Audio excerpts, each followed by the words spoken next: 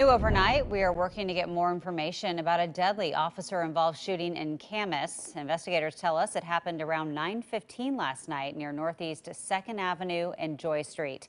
We do have a live look at the scene right now. It is still uh, an active scene. You can see emergency crews and first responders still there.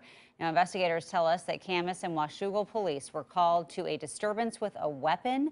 They say when officers got there, they tried talking with a man who had a gun, but he wouldn't listen. That's when they say a Camas officer fired his weapon.